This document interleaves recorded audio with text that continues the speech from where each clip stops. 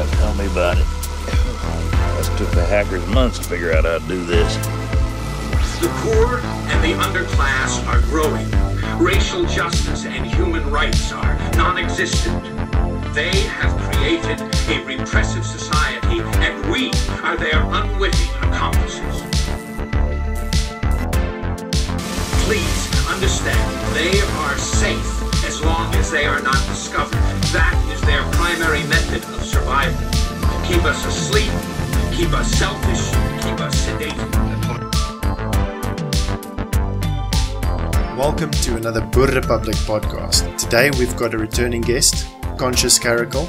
It's an honor to have him back again. Uh, we had him on a few months ago and we had an excellent discussion on what it meant to be Afrikaans, although many have varying opinions regarding that.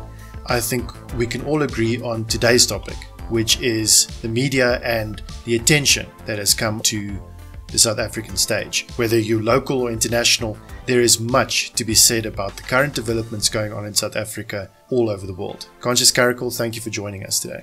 No, uh, thank you for having me back on. I thoroughly enjoyed our previous discussion and I'm looking forward to the one that lies ahead. At the same time, I do think this, well, listening to what the, the topic for this discussion is going to be, I think it's a very necessary one. I think it's something that we need to discuss seeing as, uh, and I don't want to uh, be too too excited, but I want to say that our discussion right now is probably we're talking about people, like I said in my video, people that are replacing the mainstream media, and they and they don't like it. They don't like it at all. For example, if you are working for News 24 or CNN or whatever, you have to jump through so many hoops before you can publish a story. But we, as the alternative media, as citizen reporters, we can immediately publish a story. We don't have to go through all those corporate um, regulations or whatever. And that gives us the edge. So if I get some insider information about something that's happening in somewhere in South Africa, I can immediately post it and people can react on it and people can start discussing it.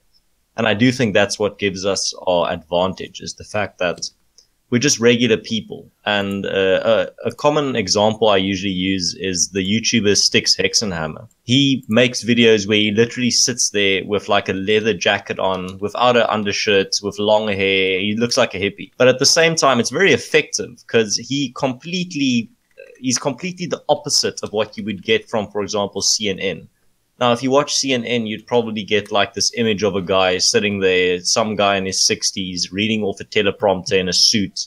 And it just looks fake. It doesn't look real. He doesn't look like a real person. He looks like a paid actor. But at the same time, if you get like a regular person like me or you guys or anyone like Willem Petzer or the Renegade Report just talking and being citizen reporters to the full extent, I think it very it, it resonates with the public. It makes you sound at least it gives you a lot more credibility. And it, it just proves you're a regular person. You're not some guy that's earning a six figure salary just to read off a teleprompter. You're just a regular person that's uh, passionate about giving the true facts to the people and to basically just give out information. You're not being paid. You're not being, you're not captured. You're not being uh, an activist or you're not captured by some political party. You're just a regular person that has brought it upon himself to give out information that's true and that needs to be said. And I do think that really scares the mainstream media. The idea that here are people that are actually not just agreeing with us constantly, but actually challenging our views. And that's not, that's unprecedented to an extent. And up until now, before the internet, you kind of only had to rely on the newspaper and what you heard on the TV or the radio to really know what's going on. But now, as I see on Twitter and on YouTube and a lot of other alternative media sites, is that suddenly now you can just subscribe to this regular, normal person like Conscious Caracal or Boer Republic or whatever. They don't have the credentials of CNN or MSNBC or Sky News or whatever, but they're giving you facts and they're giving you their perspective, a fresh, new perspective that's not corporate or sterilized. It's more real. It's more, it's like listening to a real person. It's like you can now with the internet, you can speak to a normal person in South Africa. And that's, I think, uh, something that's a pretty big drawing power for me on Twitter as well. Is that people are just looking for regular opinions. They want to talk to a normal person in South Africa. They don't want to listen to what CNN or News 24, whatever says what's happening in South Africa. They want to know from a regular South African what is happening. Can you tell me more? Uh, is the media lying? Are they not? What's accurate? What is true? And I think we're doing a, a very big service to people, foreigners especially, in terms of just getting the truth out and getting a giving them an alternative perspective that sometimes and even the majority of the time clashes with the mainstream media narrative. Yeah, the, the legacy media and the lying press uh, is, in this day and age, seems to be a, a dying beast. You mentioned your example. What's effective about that is one of the latest videos you've done is it's literally just a picture of a caracal and you giving the scoop on what's going on, especially in the case of President Ramaphosa's uh, outright lie to the international media and uh, at the UN, you know, you can definitely see that there is a lack of authenticity in what we experience from the legacy media, from the lying press.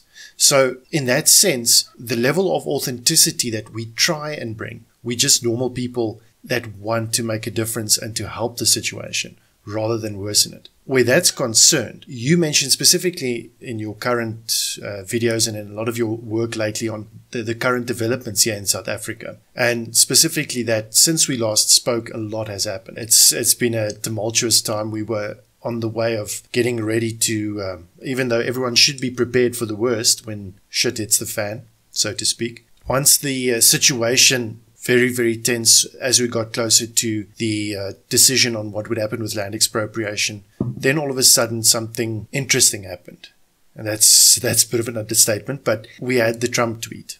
So what has your perspective been on, on what the media has, has effectively done with the South Africa situation? Uh, do you think there's been fair coverage since then, since a lot of attention has been coming South Africa's way in the past month or so? See, that's the that's the interesting thing. Back in the day, for example, I, I joked in on Twitter today that uh, since when is Pieter du Toit, the second in command of News 24, suddenly uh, Ramaphosa's PR manager? And that's the thing. Back in the day, you would have just you would have heard that Ramaphosa said there's no uh, farm murders happening in South Africa, and you would have read about how News 24 in general just clarify for you, okay, so this is what he actually meant. And that would have been your only source of information. That's it. You only have the paper, the radio, and the television. That's where you get your information from. But now suddenly, and that's where the internet puts in this, it provides this wild card almost. So now when News 24 puts out their, their, in quotation marks, clarifying piece on what act, what Ramaphosa actually meant, guys, don't worry he's actually he's quite reasonable Now some reply challenging that view that are saying, no, wait, wait a minute. You can't get away with this anymore. Like he was, not, he's not bad in English. His English is actually quite good. He didn't misspoke. He said exactly what he meant and we don't buy it. We don't buy your lies. We don't buy what you're saying about what he actually meant. We are what he said exactly as he intended it to. And I think that's what the, the, the situation that we're in right now is that people like me and you can now put out videos and counterpoints to what's being reported in the media. And I don't think the media are ready for it. They don't, they're not used to this, this scenario where they put out a view or an opinion and then you have people challenging it. I think that we're living in a very interesting time when it comes to that uh, type of information where suddenly you're living in a time where you don't have to be a, if I can put it this way, a slave to the mainstream media's opinion and just parrot what they're saying. You can subscribe to Boer Republic or you can subscribe to Conscious Caracal you can subscribe to Willem Petzer and you can get a bunch of different perspectives on what's happening in the world and you can make up your own mind if you're a smart person. You don't have to just be limited to what's being said on News 24, Times Live or The Citizen or whatever you can actually cater your news intake to what you think is the truth and you can get a myriad of different perspectives on what's happening. And I think that's actually informing the public. And that's what we're seeing right now in the world is that people are no longer just slaves to the mainstream media narrative. They are, they now have the tools and the sources to be able to effectively challenge the mainstream media narrative and make up their own minds. Yeah, I think there's, there's almost two things that has probably provided that that shift the power I feel is is going more and more to the alternative media, and I think the legacy media and especially News 24 will look back and they will see that the time when it all changed was the day that they put off the comment section. The big the the difference from media what 50 years ago, 10 years ago is that you do not have that instant feedback to know what the reaction to the piece is. You don't know if your readers appreciate it, like it. You have to wait for a small little newsletter and, and, and in the back pages to, to read what everyone thinks. Where now, if we, we bring out a piece, we bring out a video, we get instant feedback at the bottom and we can respond personally to our own subscribers and answer personal questions. And it also gives you know, subscribers that that feeling that they are interacting with the people, with the content creators, which you never really had before. Obviously, Twitter also gives that, but as you said, sort of like a, a CNN anchor, and no one ever felt in a way connected or that they are actually communicating with that person because it's such a big sort of uh, company monopoly in a sense. Yeah, so I think those are the two machine. Big, yeah, it's just a corporate machine, and so I think for me, those are the two big differences why people are shifting towards alternative media. One is that there is that personal connection. You, you, you can associate a lot more as if the person is more like yourself. And the fact that now you can, your view is uploaded in real time, which everyone else uh, can see. And, and it gives kind of a, it's sort of like the stock market. You can, if you see like who's buying and selling, you, you, you have that idea of what direction people's mood are in what way it's moving to. You've got a you've got a feel of sort of the psyche of the situation, which now you get in real time all the time. If you go on Twitter on any subject, you can you definitely have an idea of where the majority of people are, are heading towards. Where previously, when you were just told a story or a fake narrative or propaganda, you really had no idea how everyone else felt about it or what the majority of people felt. And that's something interesting I noticed was a while back I made a, a anti uh, Marx du tweet, and I said that I was taking him on about a point that he made, and something I found interesting was I had some rebuttals there that said, "Why are you attacking him on Twitter? You should just write a letter to News 24." And then they will publish it, and then he will be able to respond. And I was like, "Well, that's that's an outdated way of doing it." Why should I waste my time, hours of my time, to write a, a well prepared letter, send it to News 24, and then they just refuse to publish it? That's not how a debate works. Uh, Max Preez can come on my show and he can debate me in real time. I'm not afraid. He can come talk to me, he can bring all his facts. I have absolutely no aversion to to talking to anyone that I disagree with. I went on Renaldo Gouws's show as well, just to defend my views as well. I'm I'm absolutely not in a position where I'm trying to avoid debate. Uh, Max du Preez, Adriaan Basson, Pieter du Toit, any one of these oaks are more than welcome to come on my show and debate me live. And if the and I mean, if they have all the facts on their side, would they have all the incentive to do it because they can effectively come on my show and humiliate me in front of my entire audience, and that would be the end of me. But that's the thing. That's not how it works anymore. They refuse to debate. They don't want to come on your show or talk to you, or even have a, a discussion. They'd rather still stick to the old way of, okay, no, you need to write a letter to News 24 and maybe they'll, they'll publish it. And then maybe, even if they publish it against all the odds, then you still have to hope that Max du Preez uh, responds to your letter. So yeah, no, we're living in a an interesting time, exactly how you said, where there's this personal connection between people providing the news and their subscribers. For example, if I publish a story about something that's happening in South Africa and enough people message me on Twitter and say, no, what you said here is false. Uh, here are the real facts. I will retract it. I am not an, an ideologue or a partisan. If people can prove to me that a story that I posted or made a video about is false or not real or fake news, I'm the bigger man. I will remove it and I will make an apology. I will say, okay, no, sorry guys. I posted a fake, and I posted fake information. I will retract it. And that's the thing is that we, we as the alternative media, we have the balls to say, come on our shows and debate us. We don't really mind. You can come chat to us. We're open to debate. But at the same time, we're not getting any takers. There's not anyone that's willing to come and talk to us from the other side. We're only really talking to our own people.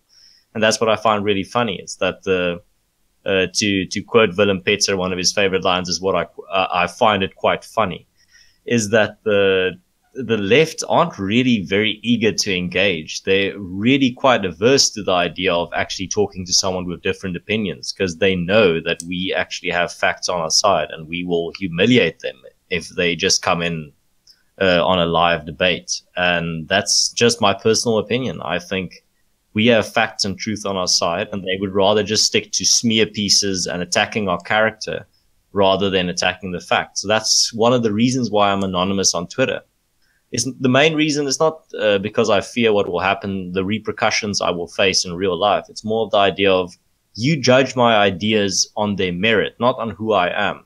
Who I am doesn't matter. Whether I'm black, white, whatever, Afrikaans, uh, English, Xhosa, whatever, it doesn't matter. My ideas matter and that's the kind of idea that's what i the, the the central idea behind my whole twitter of being anonymous is the idea of then you can only judge my ideas on their merit. Then you can't I, judge them on my identity.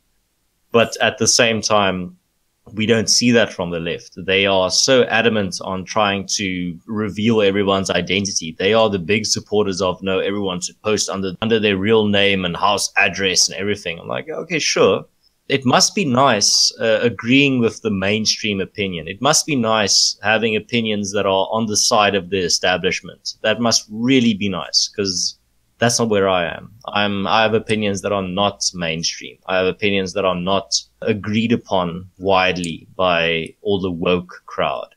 And that's why also one of the reasons why I'm anonymous. There was this one story of this guy that said he just made a meme about Winnie Mandela and then the next, uh, uh, an a distasteful meme about Winnie Mandela when she died. And then the next day, people showed up at his house with tires.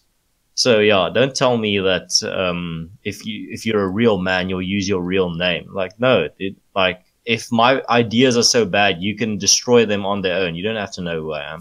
Yeah, we couldn't agree more. And I mean, this is an international trend. I mean, this is nothing new to this specific alternative sphere. Is the idea that the ideas should stand on their own. The ideas have their own merit. It is facts, not feelings, that's important here because we want to get to a certain truth. I think in the West, there's a huge emphasis on, on objectivity, on knowing what is true for everyone at least. I mean, that, that is one of the strengths of the Western sphere, and that is partly why, one of the reasons maybe why the West is crumbling. South Africa might have been part of that at one stage, but the that really makes one think is if our ideas are so bad and so evil, why must they literally take us off the internet to be able to shut us up? And by that specifically, I'm referring to last year after the Unite the Right rally in America, the Daily Stormer was, was the first website to be censored. And all they did was make fun of a woman for being fat enough to have a heart attack. Since then, there were many other figures that were taken off Twitter that were censored. Their ideas were not part of the status quo. They were taken down step by step, but alternative platforms came out as a, as a result of it, which is great because we need alt media. We need alternative platforms to be able to have those ideas spread. Now, this year, we had our favorite snake oil salesman taken off of Twitter and almost every other mainstream social media platform. The guy who calls out the globalists. And, um, you know, he, he was taken down too.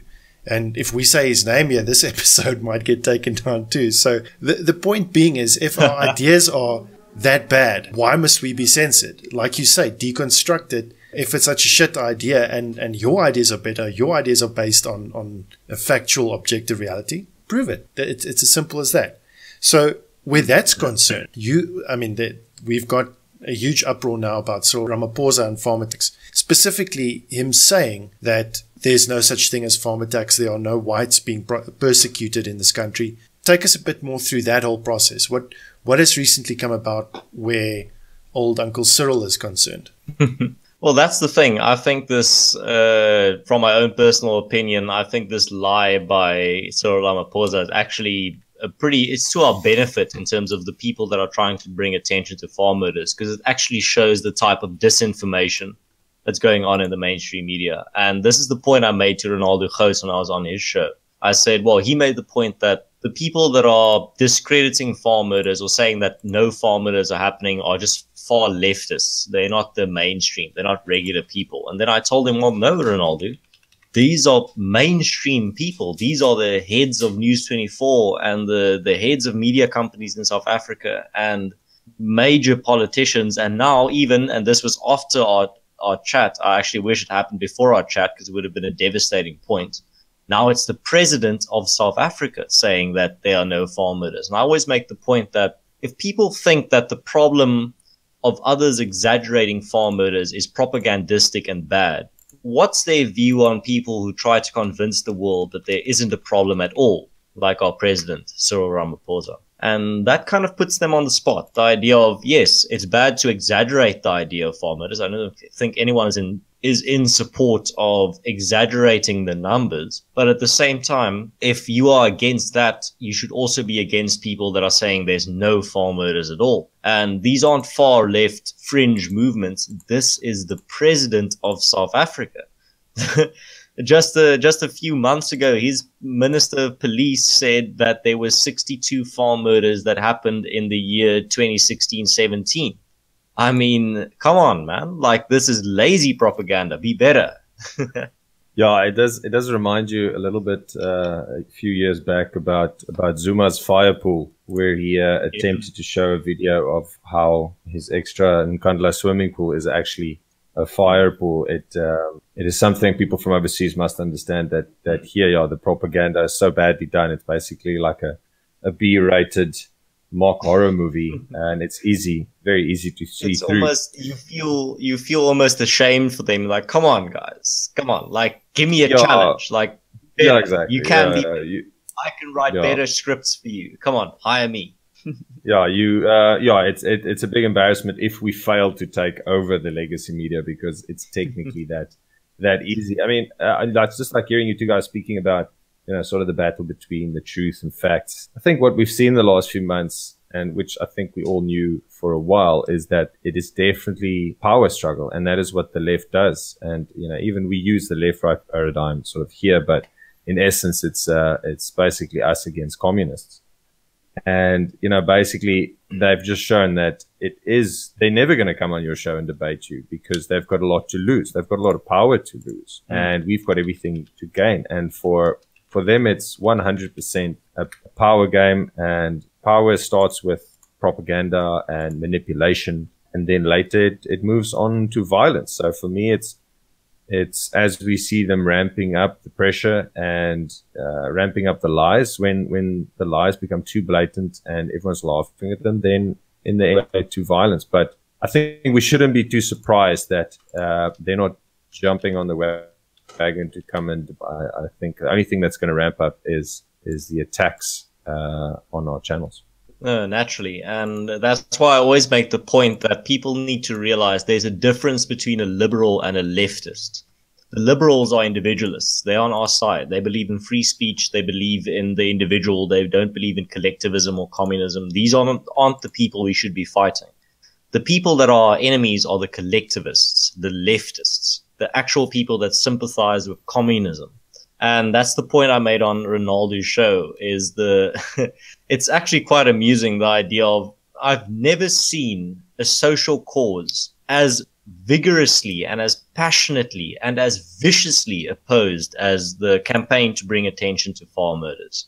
I mean, every decent person, if they read the stories and they, they just see what's happening to women and children I mean, yes, dude. Children being drowned in boiling water and women being raped and men being stabbed 150 times. I mean, you, you're probably a psychopath or drunk on ideology, as Ernst Roets put it, if you ignore these facts and you say, oh, no, there's nothing wrong. This is just regular crime. It, it brings me to the point where I want to say, no, absolutely screw you. Go to hell. If you hold those opinions, if you read these stories, if you talk to the victims of these crimes and you discredit them, I can objectively say you are a terrible person. I mean, this should be in everyone's interest. The idea of, yes, women and children are being raped and murdered and tortured due to the, and not uh, 100%, but largely due to the type of anti uh, farmer rhetoric that we're seeing in the mainstream media. I mean, I made this point to Renaldo where I said, what would your reaction be if 80 journalists or 80 lawyers or 80 teachers were murdered and tortured in a calendar year? I mean, the international media, if it was journalists, the international media would label it a crisis and they would be demanding international intervention. But just because it's white farmers, people don't seem to care. And that's why I made the point that it, it actually boggles my mind to see the amount of people on the left and just in the mainstream that try to discredit the campaign to bring attention to farm murders. Because, for example, I can speak for myself. I'm not paid by anyone. I'm not an, an Russian agent. I'm not a I'm not a propagandist. I'm just a regular person that knows people that have been victims of farm murders. And I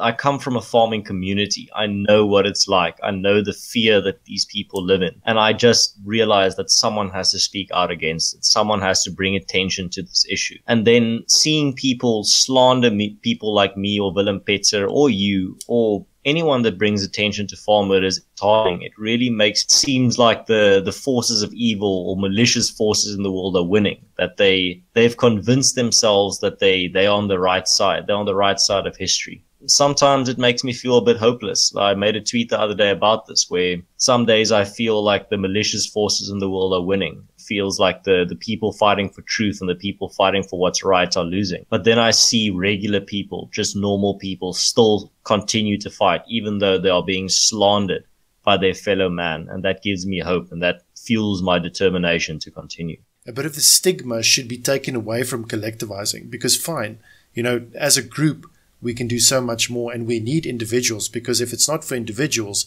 the group can't progress. Whatever discoveries has happened in the West whatever technical advancements we might have had. I mean, the internet is here because of an individual. It's the same thing with anything in, in the West and within our communities is you need individualism. But at the same time, we shouldn't be too afraid of collectivizing. Specifically, maybe where that's concerned is the communal attention or the larger attention brought on farm attacks by so many people. You made excellent points on the farm attack phenomenon and how it has been obscured in the media. If anyone, including Uncle Cyril, decided to take the time. Uh, he's probably got some puppet uh, tweeting on his behalf, but the point being is if you spend a minute on Twitter, you will find the latest farm attacks. You will find information that brings out as much information as possible in, unfortunately, as gruesome a detail as possible on what's happening. One good example is Ian Cameron of AfriForum. Just on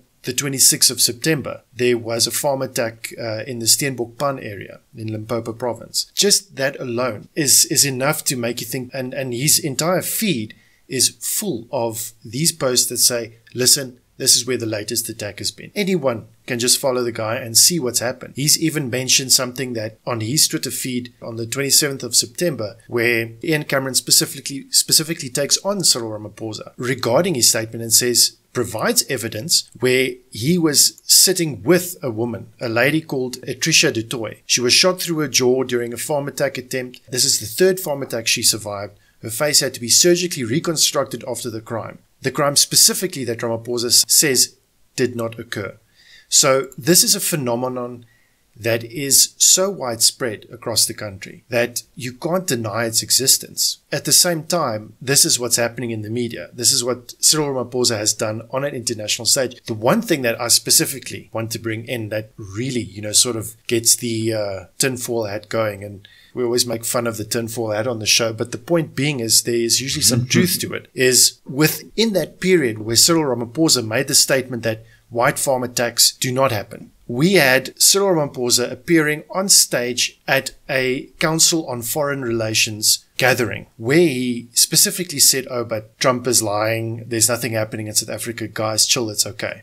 Then he does it again in front of the UN. At the same time, he does a photo opportunity with George Soros. And if you know anything about George Soros and the current migrant uh, crisis in the EU, you know there's definitely some sort of connection. And I've got this pet theory that South Africa was the canary in the coal mine for the greater Western sphere and definitely the model on which the current migrant crisis is based. And why I say that is when you look at George Soros's activities in connection to the ANC, when you see that before the referendum occurred or while the referendum was occurring here in South Africa and before we changed over to the Rainbow Nation, the Open Society for, for Africa and South Africa, or the Open Society for South Africa took up residence in South Africa, sponsored by Soros. Africa Check, which everyone loves to quote, is sponsored by Soros. So this is again where that concept of where's the authenticity in the facts that we have when the facts are obscured by people that have billions of dollars invested in keeping you ignorant. So this is where it gets to. Spend some time on the internet, five minutes, and you will find the facts. And that is what the media wants to prevent. Okay, this is where I come back to that collective aspect. Do you, and maybe we've answered this question already, but does this mean that a collective effort of bringing attention to the issues here works. And when the three of us had this discussion or had a discussion last time, we were fairly blackballed and, and we were fairly worried about what South Africa's future has in store for us. At the same time, so much has happened. We even said, you know, we must move, move, move to get as much attention on South Africa to shine a light on what's going on here. Maybe you can give us a bit more of an idea about that collective effort and that, that effect of, of bringing on more attention? Well, yeah, um, that's a very excellent question. It's the idea of, and that's the question I get from a lot of people that follow me on Twitter or subscribe to me on YouTube. They just ask me, regular people, they ask me, what can I do to help? And the, the only answer I always give them is just help us bring help us shine a light on what's happening in South Africa. Help us get the story out. That's how you can help. And it's definitely helped. Yo, man, I can tell you now, since the since the news broke about land expropriation without compensation, I've just seen so many people take to social media and say enough. I'm going to do my part now to bring attention to what's happening in South Africa and to help bring the truth and to help fight the misinformation we're seeing in the media. And I mean, uh, I don't want to uh, overstate the effect we've had on the international community, but I do think our collective effort of constantly tweeting Americans and bringing attention to the subject led to Donald Trump making that tweet about South Africa. And a lot of people say, "Oh no, it's the worst thing that could have happened for your cause." Donald Trump endorsing it. I'm like, I'm I'm in the complete opposite camp. I think it's the best thing that ever could have happened because now one of the most powerful men in the world made a tweet about what's happening in South Africa, and now suddenly people are talking about it. Even though a lot of it is misinformation, there is a lot of it that is actual solid facts and people correcting other people and saying, no, this is what's happening. I am in South Africa. I am a farmer and this is how our situation currently is. And I think the best thing that could have happened to us was someone high profile as Donald Trump tweeting about it because that makes people talk about it. And Joe Rogan is another excellent example. I mean, he just mentioned on one of his podcasts, whenever I think about South Africa, I just hear about all these murders on farmers happening there. And he was absolutely attacked by people on the left telling him that he's a propagandist and he's talking about white genocide and he's a, a, a far rightist and alt right or whatever. But no, he didn't say any of that. He just said, what I've been hearing about South Africa is about all these farm murders. And that's not something that's, it's not a lie. It's, and this is a, a, a point that I make that a lot of people disagree with me. Uh, I made this tweet, uh, made this point on Renaldo Gouws's channel as well, where I said we can debate about the the definition of genocide, but I'm not going to go as far as to say what's happening in South Africa is a white genocide.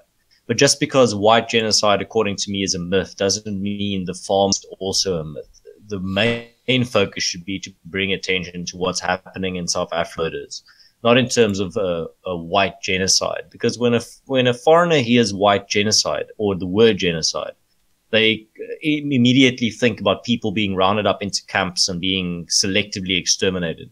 And that's what's not what's happening in South Africa. So then when they dig into the facts and they see that's not, that's not what's happening, then they just instantly discredit the, the cause.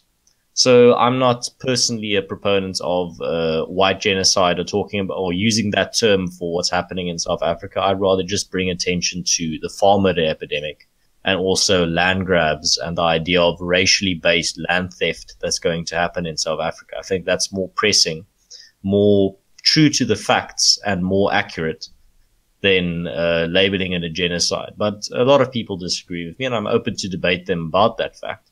But I just think from a from just looking at what's happening in South Africa, I think labeling it a genocide is a bit sensationalist and um, actually does damage to the cause. But you might disagree. I think, well, for me, the the the battle about definitions is what the the mainstream media and the left generally uses as a major distraction. It, it is mm. it is just a tool for them to to get us fighting amongst each other and maybe causing a bit of division in a, in a sense. For me, whether whether we call it a genocide or not, for me, it absolutely does not change anything that we're going to do that to improve the situation, to bring the information out. I, I, I don't think again the question is whether that does that kind of get the get the get the ball rolling with regards to say UN intervention and all of these. You know, does that definition need to take place for some legal ramification for um, for the for the international community to to intervene? I don't know, and I, and I don't really care because I,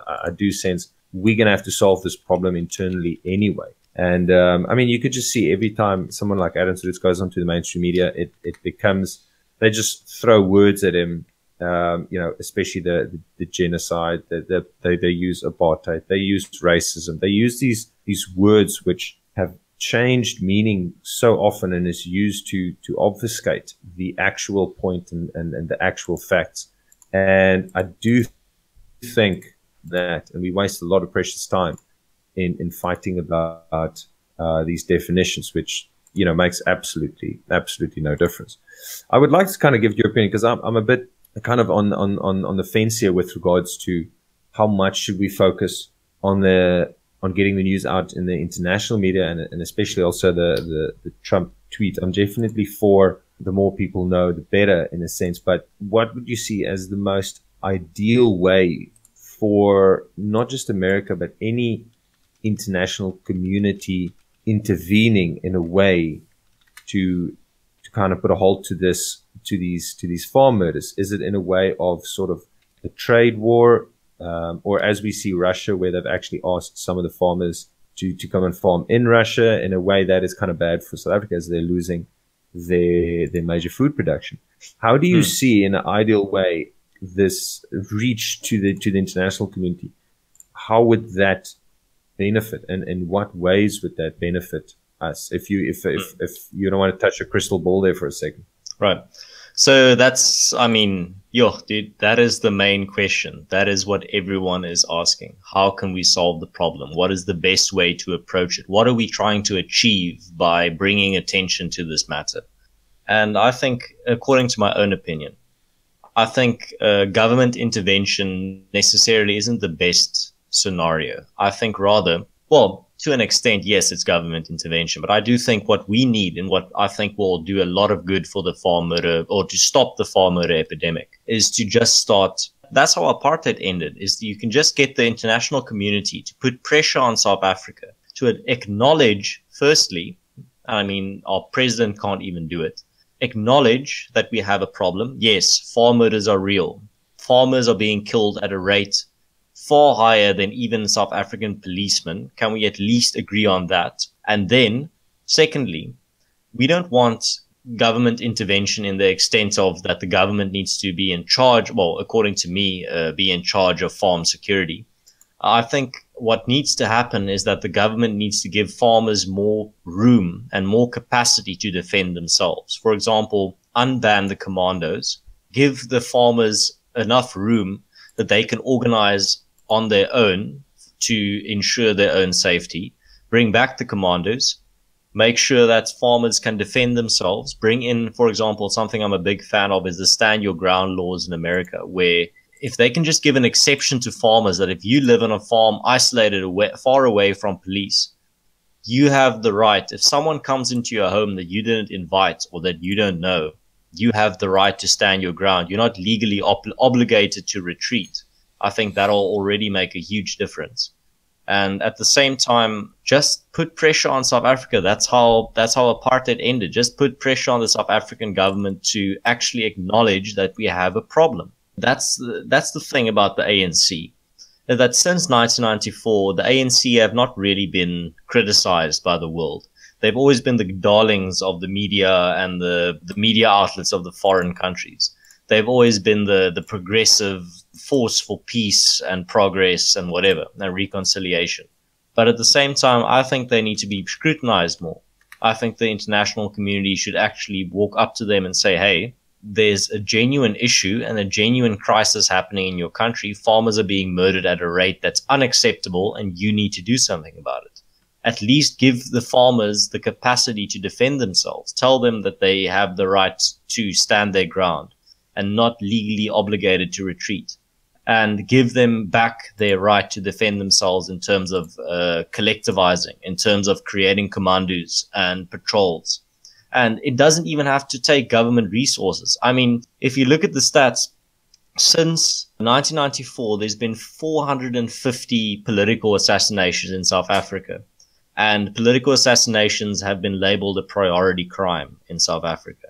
But since 2011 or 2012, there's already been the exact same amount of farm killings, but farm murders aren't a priority crime.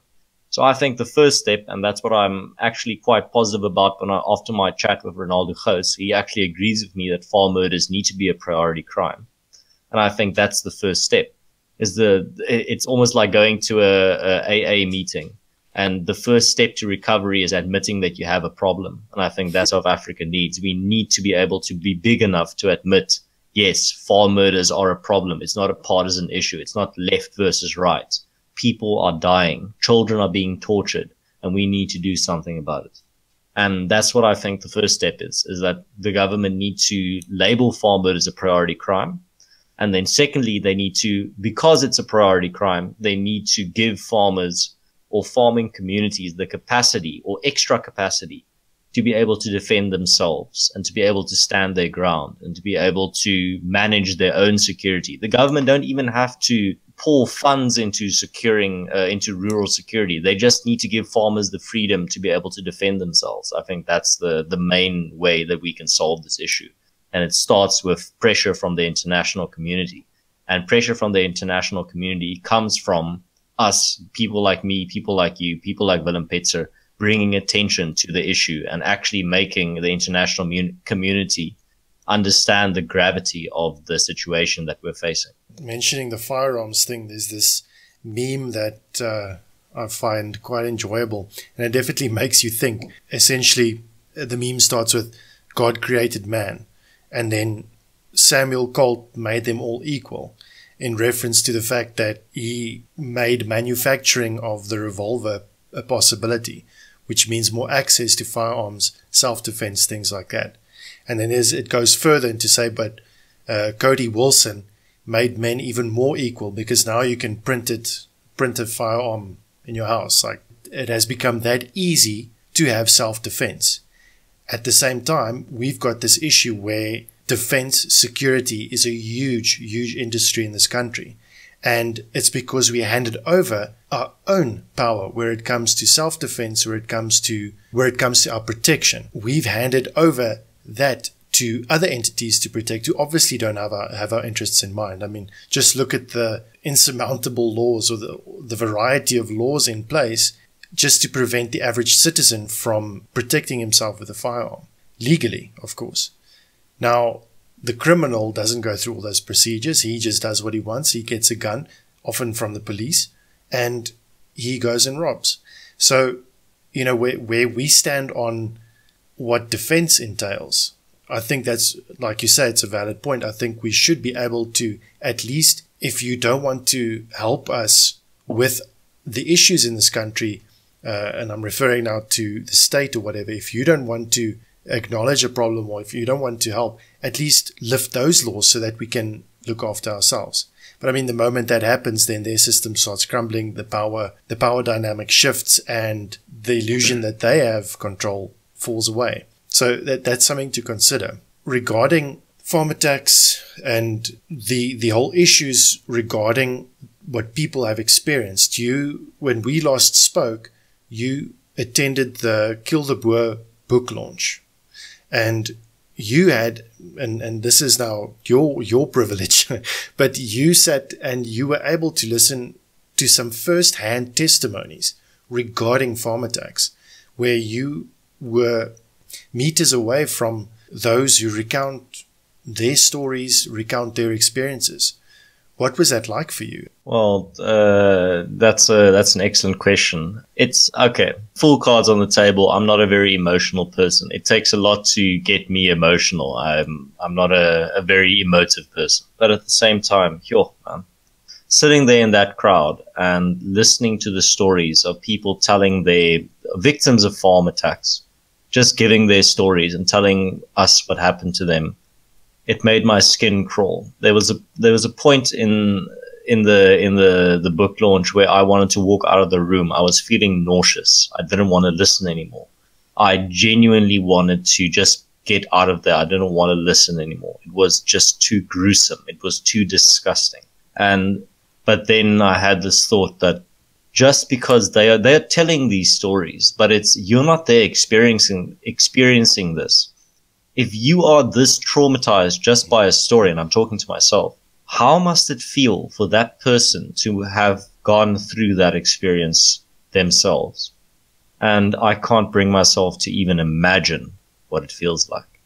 And then you have someone like Cyril Ramaphosa, the president of South Africa, going to an international forum and saying that these four murders are not happening.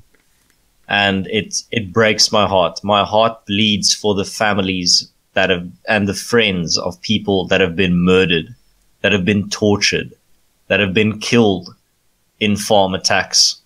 And it's man, it's yo, man, it yeah, it's it's beyond belief. It I can't even bring myself to put myself in the shoes of those people. Like there was this one woman at the book launch that told told her story, where she, her husband, and her her I think her child was like ten years old, and her daughter of ten years old. They was they were sitting in the they were watching a movie or something, and then these two men broke into their house and they start threatening them with weapons and telling them point us to the safe and we're going to kill you whenever and they shoot the husband and well he's not dead yet. He's just wounded and he's lying there.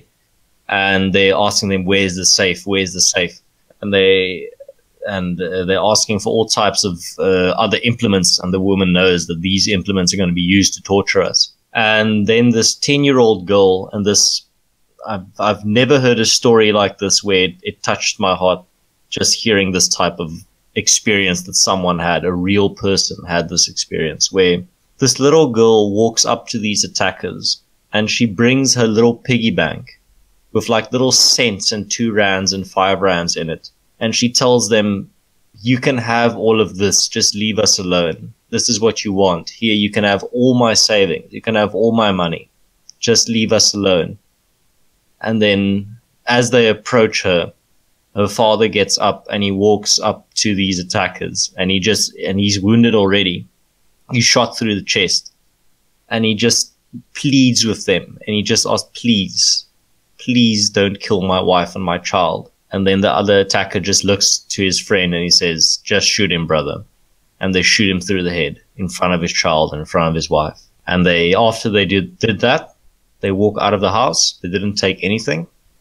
And that was it. And they left that child and that, that, and that woman just sitting there. And they didn't take anything. They were just there to be cruel, to kill him, to be monsters.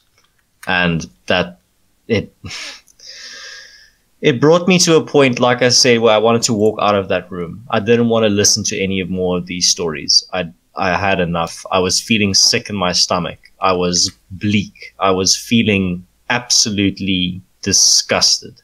And then I realized, oh shit, this was just one story. Every week in South Africa, we have one farm murder on average. We have at least three farm attacks every week. What are these people going through? I can't even sit there and listen to one story feel that actually experienced this. I, I, I can't even put myself in into the shoes of those people. And I think that was the main point of the the whole book launch was having yo, and I have an immense respect for this woman that she could stand there in front of this crowd of a hundred people and actually tell her story without breaking down. And it just made me realize again that we're on the right side of history. We are on the side of the truth. We are on the, on the side of what's right. And if you want to tell me that these people, these innocent people that are just telling their stories are right wing conspiracy theorists, and people like me, people like you, people like Willem Petzer, people like Ernst Roets that want to bring attention to these horrific crimes are just far right propagandists, I can tell you right now, you can go to hell because they are innocent people that are being murdered in South Africa. And these people that are bringing attention to them, I have immense respect for the people that are bringing attention to farm murders because they are being slandered in the media. They are being downplayed. They are being called propagandists. They're being called fascists. They're being called Nazis. They're being called white supremacists and being able to bring attention to this cause while still being slandered like that takes a lot of balls. And that's why I can't even express how much respect I have for people like Ernst Roets that are putting themselves out there to stand up for what is right. And my only message to them is that please keep keep doing what you're doing because you're inspiring thousands of people. Yeah, th- that was the story of uh, Mariandra Yenes, right? the the lady who, who got attacked. The spirit. Literally right. Yeah, um, that- I can't confirm it. Uh, okay, but yeah, if I'm not mistaken, that that might have been her story. She actually, Mariandra Yenes, also spoke at the recent, uh, at the the um, the the memorial to farm victims where they placed the cross, all the crosses and that. Uh, she also had a speech there where she spoke about her experience and that she was finally able to lay her husband's cross uh, on this hill with many other or crosses related to victims of, of farm murders. And, and often it's not just the one person who has been killed, it's a family that's been broken, it's a farm that's been disrupted, it's been a part of the economy that's been disrupted wholeheartedly. So I can only imagine what she must have gone through, what many others have gone through. And just you recounting that to us, it, it's it's phenomenal that someone can deny the existence of this. Uh, even though if you say that you're you're you're not an emotional person, you definitely have a way to evoke emotions in, in others. And my feeling about these things, it is it is in a way a ploy of of the left and the media in a way that because as you as you recounted, it, it is so insanely gruesome and evil that I think your brain automatically tries to dissociate from it because you don't actually want to you don't you don't have the ability to think that you can live in a world where that can happen tonight which you know even just for us who don't just live on a farm it, it can happen. It happens to well everyone in this country. Not everyone obviously but there's there's a high percentage uh, in in relation to other sort of first world countries. But it i think it's a definite tactic for them to outright deny it as Cyril Ramaphosa did that outright denial has that effect on your brain to say like, yeah, it's not happening because it's such an easier thing to think. It's easier thing to think it's not happening than actually face the reality because facing that reality that this is happening to people is, is, it's very, I think it's very difficult to handle. It's a very difficult reality to go to bed to every night and think that, you know, you, you have to do something about it. There's, there's no way that you can go and enjoy the rugby on Sunday or Saturday and go play a golf game when people are going through this. So uh, no, that was a very emotive way of retelling that story. And that's the thing that I also got because you you want further correspondence about what happened at that book launch. Just the something that struck me was the absolute silence of the people in the room, just listening to the stories about what's happening, uh, about what's the the key, what's the the main reason for Ernst taking three years of his life to write this book that's based on over a thousand sources. He's not even, and this is the, the big thing, he's not even getting any of the profits from the book being sold. He's, uh, all the profits go to, to charities for farm murders. And it is absolutely astounding that someone takes three years out of their life to write a book based on a thousand, more than a thousand sources and not even taking any credit or not taking any profits from it. It's not, and that's why a lot of people like to construe his cause say, oh, Ernst Roets is just making money off uh, the graves of people being murdered. Like, no, he's not making a cent from it. He's doing it because he actually believes in the cause. And that's why, that's the thing that I got from his speech in parliament as well. Just seeing all, everyone in that room attack him and slander him and paint him as this racist, evil person. The next day, I joined AfriForum and I took a screenshot of the confirmation that said, okay, welcome, uh, welcome to AfriForum. Uh, thank you for your contribution. And now I'm a member of AfriForum because of what he said in Parliament. And then I actually started a little mini Twitter trend because then uh, about a dozen people also did the same. They also uh, joined AfriForum and posted their screenshots and AfriForum now this this month have a record number or uh, exceptional number of new members to their to their organization. And I do think as long regular people are willing to stand up for what's right and people will fund people like AfriForum that are standing up for property rights and for justice in this country. And I do think anyone listening right now, I can implore you, please support AfriForum, support, support people like Ernst Roets, because they're doing what a lot of people in this country are too afraid to do and too afraid to say. No, we couldn't agree with you more. And the more people speak out, the less there is a stigma around the situation here in South Africa, the less people can deny it.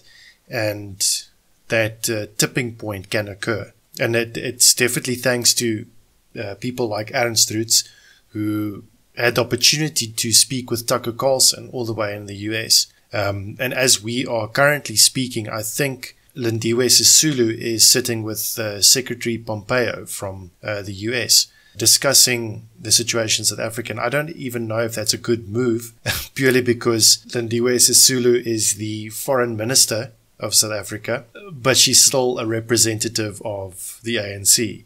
So I don't know how well that would help us. I think uh, we should just keep on pushing until we until that Overton window shifts properly or even further.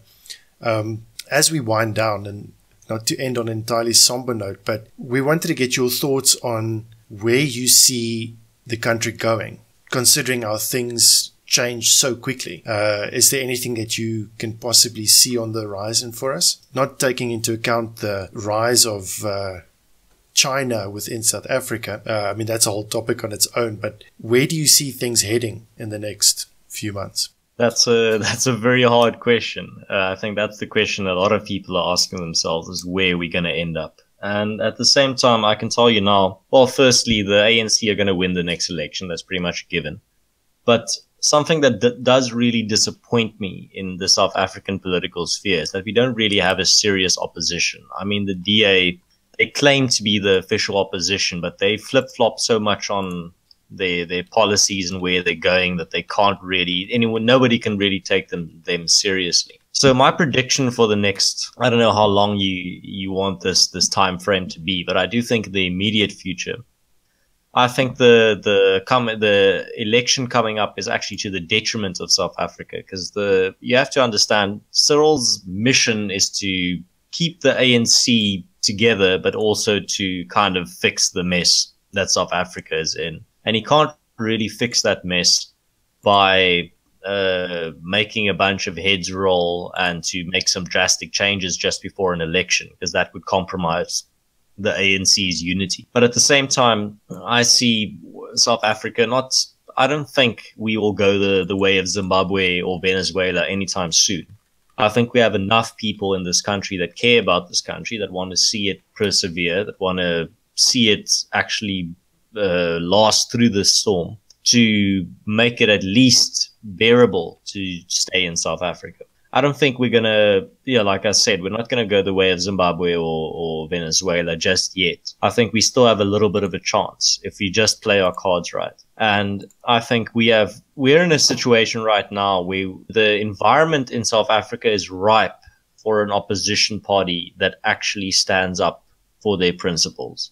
And I'm actually quite hopeful with this new alliance between COPE and AfriForum And I do think uh, this COPE AfriForum alliance should try and uh, make a further alliance with the IFP, which is also gaining ground in KZN. And if that's possible, if we can create an opposition party that not doesn't really stand a, stand a chance in the, the upcoming election, but maybe in a future election, we can supplant the DA, which is a weak opposition party, with an actual strong opposition party.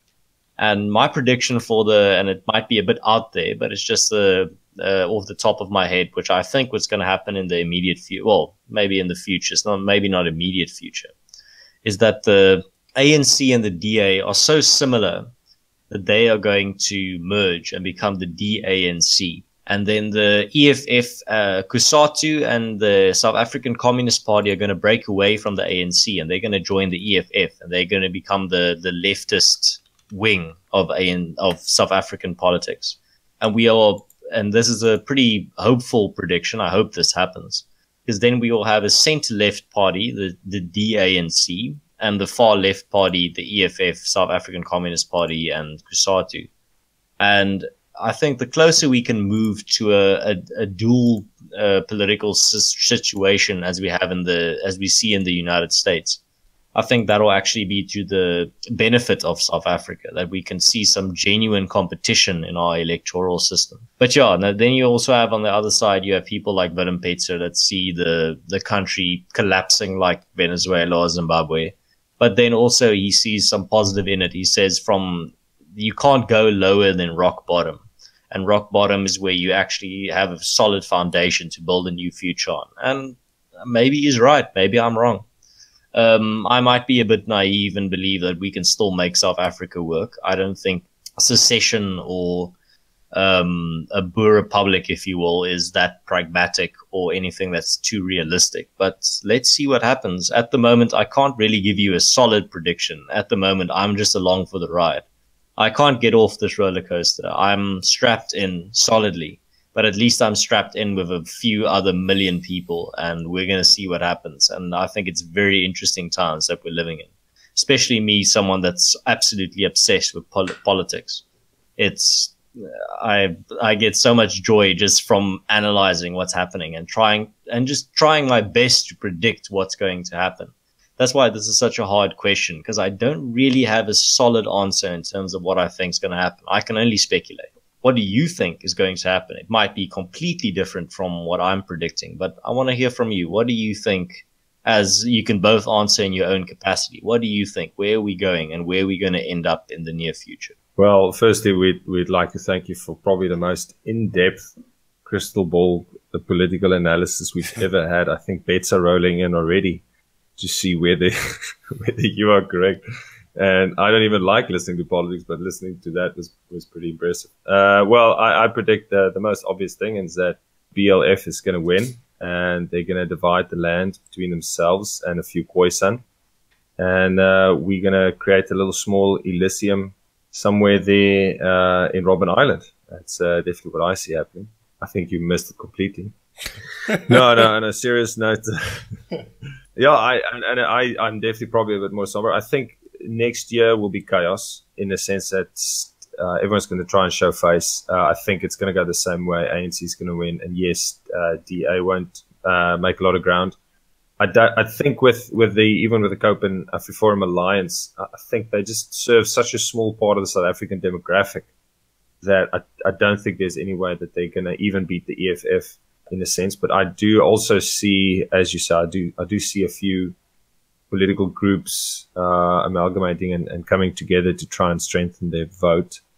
Uh, economically, I, I, you know, it's, it's, I actually, I foresee and I hope actually uh, a semi collapse in a sense that we're seeing around the, the world with sort of currencies like uh, in Argentina and Turkey and Venezuela. I see a, but I see a big reduction in the value of the rand, and I see that as a big opportunity for this, for sort of the transfer of wealth that'll that'll occur with regards to uh, cryptocurrencies. I think there's going to be a bit of a, a spike next year, and that'll make a lot of people wealthy and give a lot of opportunity for parts of South Africa to to improve. Where you know whether I think sort of a succession happens in a way, I would like that. Uh, I think that might not happen next year, definitely not next year, but maybe in the next five years. So, but yeah, just I'm happy to hear that you're strapped in, and that that obviously says that you're going to give the best possible political analysis that you can. And uh, we're glad to hear that Conscious Caracal is still going to be reporting on South African politics for the next couple of years. No lies, I am. I've got my backup plan to uh, to watch the show from afar with popcorn, but I am definitely going to fight to the last zombie is killed or that I can that I can fend off. So that's my take. Yeah, you see, the thing is, uh, you mentioned, uh, you know, the alliance between AfriForum and COPE, that there's this potential future where we see cooperation between multiple parties, multiple ethnicities, uh, because after all, we are stuck on the same boat, whether we like it or not. So yes, that that factors in, and I think that is a viable solution. Although I am distrustful personally of anyone with a prior history to the ANC. That being said, we've personally had the opportunity to quickly interview Mosiuoa Patrick Lekota for a few minutes. I mean, the guy's a busy guy, but we still luckily had the opportunity to speak with him, and he was quite genuine. And in that process, he was harassed by the EFF, and I think anyone. Any day that you're attacked by communists is a good day. And anyone who is attacked by communists, we can at least uh, have some faith in, although I think one should be cautious. Uh, so, yes, we, we were lucky to speak with him. He does seem genuine. We were also lucky enough to speak to Jeremy Cronin, a representative of the ANC and a representative of the South African Communist Party. And that guy's scaly. I, I just, I can't trust him at all. The way he speaks, the way he uh, describes the situation. And he's one of the guys behind the land reform process, behind the expropriation process. So he's definitely, especially in the way that we asked him a question or two, he was, he wasn't very open about what he actually was doing. So, where political parties are concerned, I think uh, we're in for a rough time. I'm also strapped into the seat. I am on this roller coaster, uh, and I'll do whatever I can to spread awareness, to bring as much attention on the issue as possible. I mean, that's why we're doing this after all. We're not interested in ego, we're interested in ideas and facts. We've personally seen that facts can help turn the situation. That's partly why we're doing this uh, podcast with you, is to look back at the time between our chats and see what's happened. And specifically, a huge amount of change has happened. I don't think any, all, any of us thought that it would happen so quickly. I mean, it, it did seem like there were dark days. There are definitely still dark days ahead, but there's more light on this roller coaster, if I can put it that way. Political party wise, I'm not a big fan of political parties, uh, specifically parties that, I mean, there, there's very little maybe pro-white political representation, and for obvious reasons. The, the, the whole deck is stacked against us. Uh, we are a minority. We are threatened in this country, even though we are the tax cows, even though we essentially pay for everything. So I think there should be a fourth political theory that should come about. I think there should be uh, an alternative to this stuff. And even though I've I've been keeping track of what's been happening overseas, uh, what what is considered far right movements and and extremist has become, and if one actually looks into it, if you actually take the time, the same with the farm murders, if you take the time to look into the facts regarding all the political parties in the country, as well as the trends and things that are happening overseas, you soon realize that the issues are far more nuanced than, than they made out to be. And that's also why we're looking at the issues with the press. At the same time, I think there needs to be an alternative political theory. If it's revolved around self-determination, I'm all for it. Like you say, it's it's maybe a bit too pragmatic to think that we'll have the next uh, Boer Republic or the next ethno state coming out or the next self-deterministic sanctuary in this country. And I think it should be something we should work toward. The, the might, might we just say that all our all our subscribers will have a discount on their passport prices?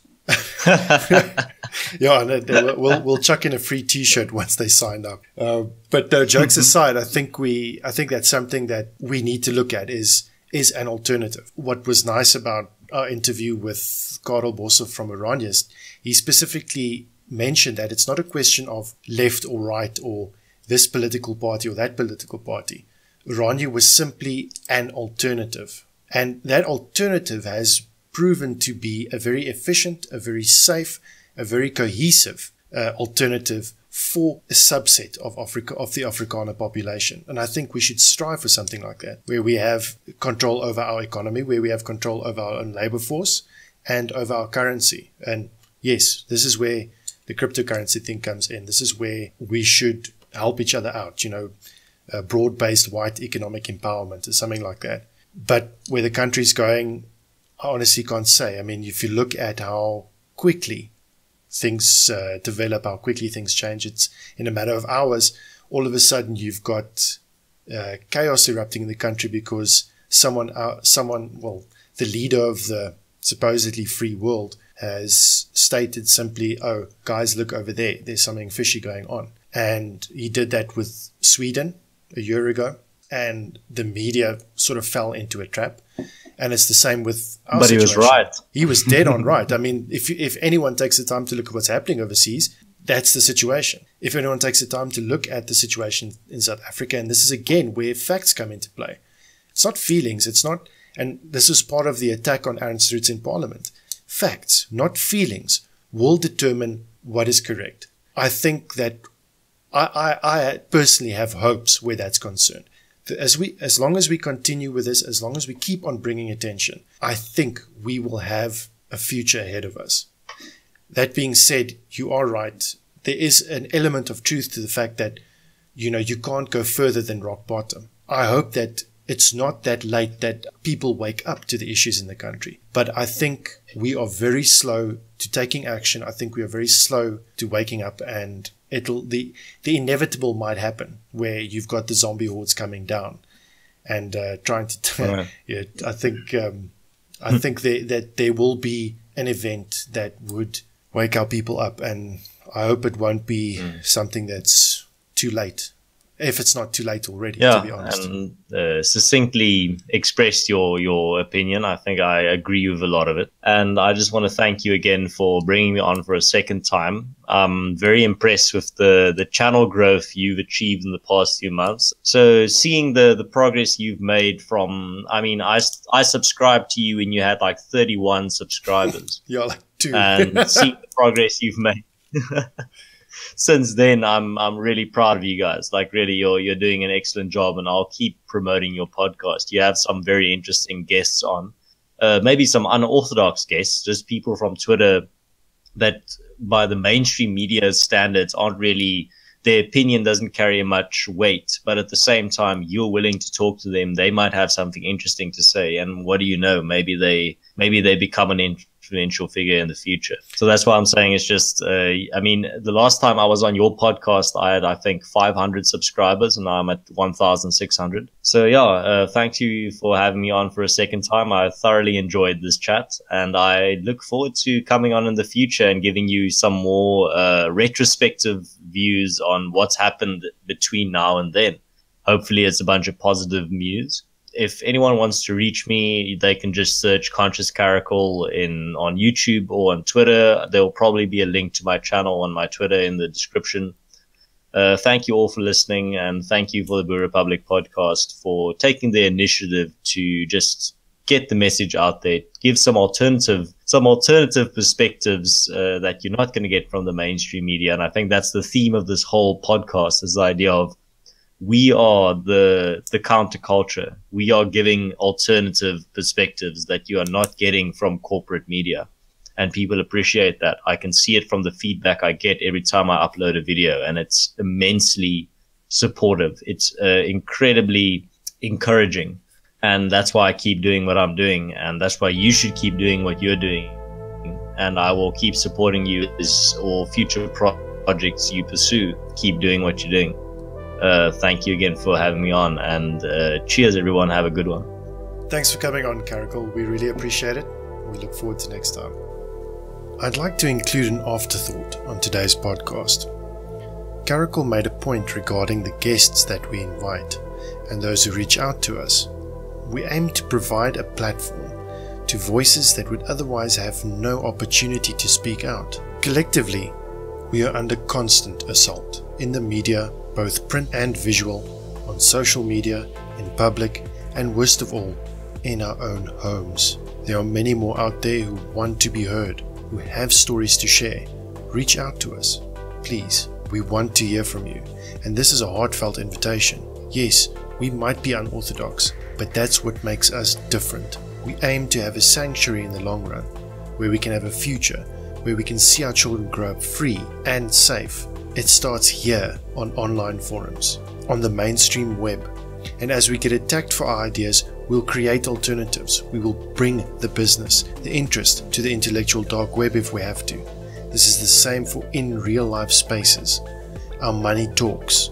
Our presence matters in this country. If we can get together to make Spur restaurants think their approach, if we can boycott Sasol and the anti white banks, if we can call out our unelected president, because face it, he belongs to the Oppenheimers, on statements that negate our existence, we can make their deep and corrupt pockets feel our absence.